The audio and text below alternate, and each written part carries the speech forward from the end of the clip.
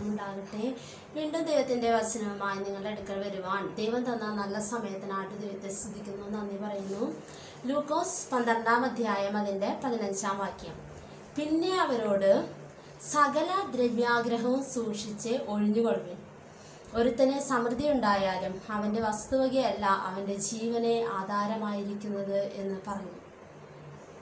യേശു കർത്താവ് പറഞ്ഞ വളരെ ശ്രദ്ധേയമായ ഒരു വചനമാണ് നാം വായിച്ചു കേട്ടത്.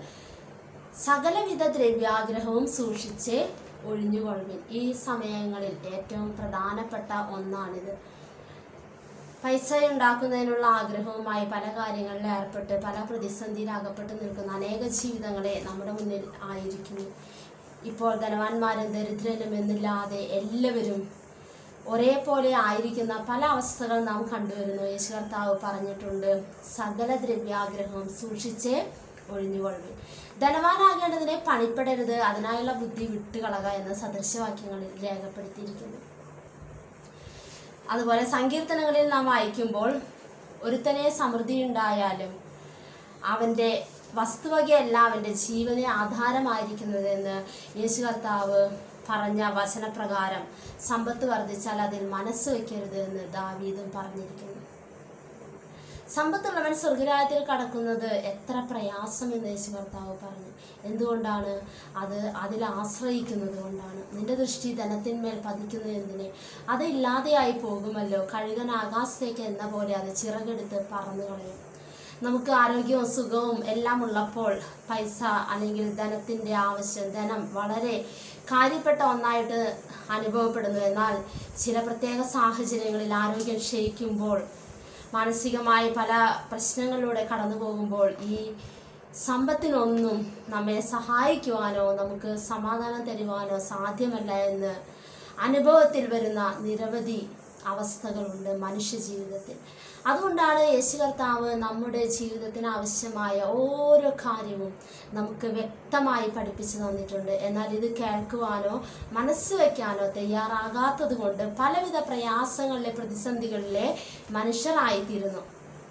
തിമത്യോസിനെ ലേഖനം എഴുതുമ്പോൾ ഇപ്രകാരമാണ് നാം കാണുന്നത്. ദ്രവ്യാഗ്രഹം സകലവിധ ദോഷത്തിന് മൂലമല്ലോ. ഇത് ചിലർ കാംക്ഷിച്ചിട്ട് വിശ്വാസം വിട്ട് ഉഴന്ന് ബഹുദുഃഖങ്ങൾക്ക് അധീനരായിത്തീർന്നു.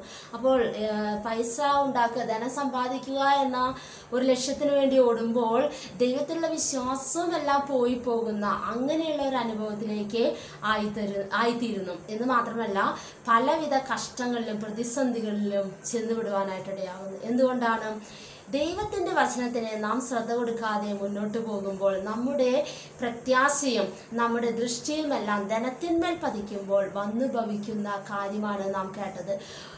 ഒരു തന്നെ നല്ലൊരു വീടുണ്ടായാലും അവന് സമൃദ്ധി ഉണ്ടായാലും നാം അതിലൊന്നും നാം ചിന്തിക്കേണ്ട ആവശ്യമില്ല. കാരണം അവൻ മരിക്കുമ്പോൾ യാതൊന്നും കൊണ്ടുപോകുകയില്ല ദൈവത്തിന്റെ വചനം വ്യക്തമായി നമ്മോട് സംസാരിച്ചിരിക്കുന്നു. നാം മരിക്കുമ്പോൾ യാതൊന്നും കൊണ്ടുപോകാൻ സാധ്യമല്ല. തിമത്യോസ് ലേഖനത്തിൽ ഇപ്രകാരം പറയുന്നു ഇഹലോകത്തിലേക്ക് നാം ഒന്നും കൊണ്ടുവന്നിട്ടില്ല. അതുകൊണ്ട് ദൈവത്തിൽ പ്രത്യാശയുള്ളവരായി ദൈവം നൽകുന്ന നിത്യജീവനായി നോക്കി പാർക്കുവാൻ എന്ന് വചനം കേട്ട എല്ലാവരെയും ദൈവം ഒരുക്കട്ടെ. നമുക്ക് പ്രാർത്ഥിക്കാം. ഞങ്ങളെ സ്നേഹിക്കുന്ന ശ്രീയപ്പച്ച ഇന്ന് കേൾപ്പിച്ച വചനത്തിനായിട്ട് നന്ദിയോടെ സ്തുതിക്കുന്നു. ദൈവമേ സ്തോത്രം ചെയ്യുന്നു.